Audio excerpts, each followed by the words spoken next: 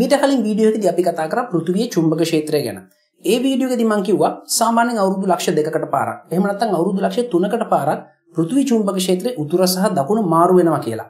ඕගොල්ලෝ මේ වීඩියෝ එක බලන මොහොත වෙනකොටත් මේ ක්‍රියාවලිය ඉතාමත් ශීඝ්‍රයෙන් සිද්ධ වෙමින් තියෙන්නේ.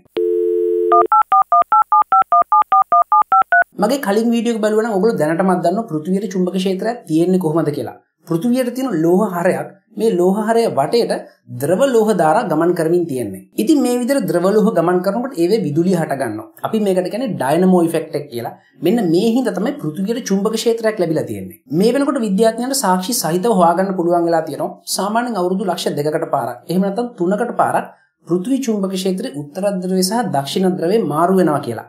හැබැයි මේක මෙහෙම වෙන්නේ ඇයි කියලා නම් අපිට තාම තේරුම් ගන්න බැරි වෙලා තියෙනවා. ඒ වගේම තමයි භූවිද්‍යාත්මක සාක්ෂි වලට අනුව පෘථිවි චුම්බක ක්ෂේත්‍රයේ උත්තර ධ්‍රවය සහ දක්ෂිණ ධ්‍රවය අන්තිම වතාවට මාරු වෙලා තියෙන්නේ මීට අවුරුදු ලක්ෂ 7කට විතර කලින්.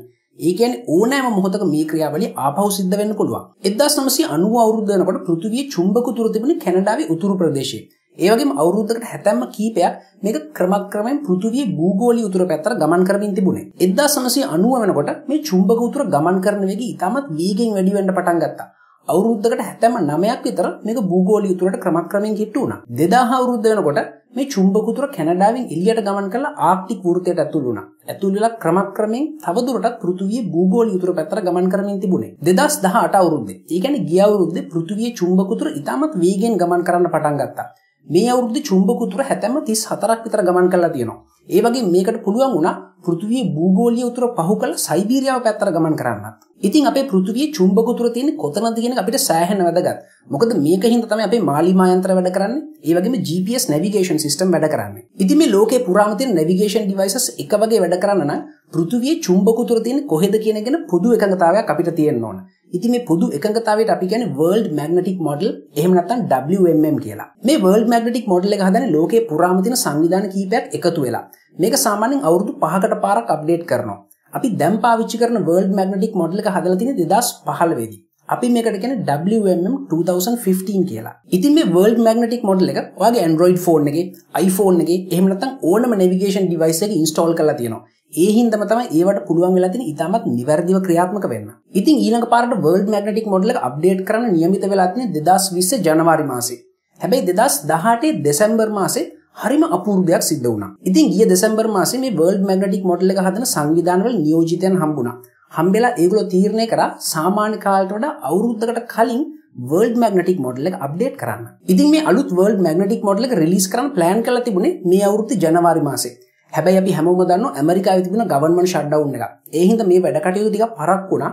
හැබැයි පෙබරවාරි මාසෙ වෙනකොට මේ වැඩේ සාර්ථක කරගන්න මේගොල්ලන්ට පුළුවන් වුණා. ඉතින් මේ අලුත් අප්ඩේට් එකට මේගොල්ලෝ දාපු නම තමයි WMM 2015 V2 එහෙම නැත්නම් version 2. ඒ වගේම තමයි ලබන අවුරුද්ද වෙනකොට සුපුරුදු විදිහට මේක අපහු අප්ඩේට් කරන්න. ඒ කියන්නේ WMM 2020 රිලීස් කරන්නත් මේගොල්ලෝ බලාපොරොත්තු වෙනවා. ඉතින් මේ සිදුවීමෙන් අපි හැමෝටම තේරුම් ගන්න පුළුවන් පෘථිවියේ චුම්බක ක්ෂේත්‍රය පහුගිය කාලය පුරාට කොයිතරම් වේගෙන් වෙනස් වුණාද කියලා. ඒ වේගෙන් වෙනස් වෙච්ච හින්දා තමයි මේ විදිහට අවුරුද්දකට කලින් World Magnetic Model එක අප්ඩේට් කරන්න සිද්ධ වුණේ. අපි හැමෝම දන්නවා සූර්යයාගෙන් ඉතාමත් වේගයෙන් ගමන් කරන ඉලෙක්ට්‍රෝන, ප්‍රෝටෝන, ඒ වගේම හීලියම් න්‍යෂ්ටි. ඒ කියන්නේ ආරෝපී දංශු පිට වෙනවා. අපි මේවට කියන්නේ සූර්ය සුළං කියලා. මේ සූර්ය සුළං වලින් පෘථිවිය ආරක්ෂා කරලා තියාගන්න අපේ චුම්බක ක්ෂේත්‍රය මේ ගැන මම කලින් වීඩියෝ එකදී කතා කරලා තියෙනවා. ඉතින් පෘථිවියේ චුම්බක ක්ෂේත්‍රයේ උතුර සහ දකුණ මාරු වෙනකොට පෘථිවි චුම්බක ක්ෂේත්‍රය සෑහෙන තරම් දුර්වල වෙනවා. මේ දුර්වල වීම මුලින්ම දැනෙන්නේ පෘථිවි කක්ෂයේ තියෙන සැටලයිට්ස් වලට. ඉතින් මේ චුම්බක ක්ෂේත්‍රයේ දුර්වල වීමත් එක්කම පෘථිවි කක්ෂවල තියෙන සැටලයිට් වලට නිරන්තරයෙන්ම සූර්ය ගිනි දැල් වලට මුහුණ දෙන්න සිද්ධ වෙනවා. ඒ හින්දා ඒවේ ක්‍රියාකාරීත්වය අඩපණ වෙන්න පුළුවන්. එහෙම නැත්නම් සම්පූර්ණයෙන්ම විනාශ වෙන්නත් පුළුවන්. ඉතින් මේ පෘථිවි කක්ෂවල තියෙන චන්ද්‍රිකා සූර්ය සුළං වලින් විනාශ වුණොත් එහෙම අපි දිනපතා පාවිච්චි කරන GPS navigation, internet ඒ වගේම තවත් ටෙක්නොලොජිස් ගොඩාක් වැඩ කරන්න නැතුව යයි. ඒ වගේම තමයි පෘථිවිය මතදී අපි වෙලාව ඉතාමත් නිවැරදිව මැනගන්නේ GPS සැටලයිට් වල තියෙන ඇටොමික් ක්ලොක් එක පාවිච්චි කරලා. මේක හරියට වැඩ කරන්නේ නැතුව ගියොත් එහෙම අපේ බැංකු කටයුතු වලට වෙළඳ කටයුතු වලට ඒ විතරක් නෙමෙයි විදුලි බල පද්ධතියටත් මේක බලපායි. ඉතින් මේ චුම්බක ක්ෂේත්‍රය තවදුරටත් දුර්වල වුණොත් එහෙම ඊළඟට ඒක බලපාන්නේ අපේ ඕසෝන් ස්තරයට. ඕසෝන් ස්තරයේ දිගටම සූර්යගිනි දැල් වලට නිරාවරණය වුණොත් එහෙම ඕසෝන් ස්තරය සම්පූර්ණයෙන්ම විනාශ වෙලා යන්න පුළුවන්. ඉතින් අපි හැමෝම දන්නවා මේ ඕසෝන් ස්තරයේ හින්දා තමයි පෘථිවිය සූර්යාගෙන් එන පාරිජම්බුල කිරණ වලින් ආරක්ෂා වෙලා තියෙන්නේ. මේ ඕසෝන් ස්තරය විනාශ වුණොත් එහෙම පෘථිවිය මත ඉන්න සියලුම ජීවීන් කෙලින්ම පාරිජම්බුල කිරණ වලට නිරාවරණය වෙයි. ඉතින් මේ චුම්බක ක්ෂේත්‍රය තවදුරටත් දුර්වල වුණොත් එහෙම පෘථිවිය මතු පිට දිගටම සූර්ය ගිනි දැල් වලට නිරාවරණය වෙයි. මේක පෘථිවියේ ජීවත් වෙන කිසිම ජීවියෙට ඒ තරම් හිතකර තත්වයක් වෙන එකක් නැහැ. මේ සූර්ය ගිනිදැල් වලට අපි කියන්නේ අයනයිසිං රේඩියේෂන් කියලා. මේවට පුළුවන් අපේ DNA විකෘති කරන්න.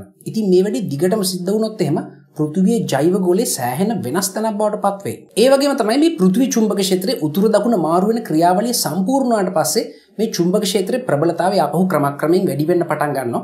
එතකොට මේ හැම දෙයක්ම ආපහු ක්‍රමක්‍රමයෙන් යථා තත්ත්වයට පත් වෙනවා. හැබැයි මේ සම්පූර්ණ ක්‍රියාවලියට අවුරුදු දහස් ගණක් ගත වෙන්න පුළුවන්. මම කලිනුත් කිව්වා වගේ මේ පෘථිවි චුම්බක ක්ෂේත්‍රයේ උතුරු දකුණ මාරු වීම මීට කලින් කීප වතාවක්ම වෙලා තියෙනවා.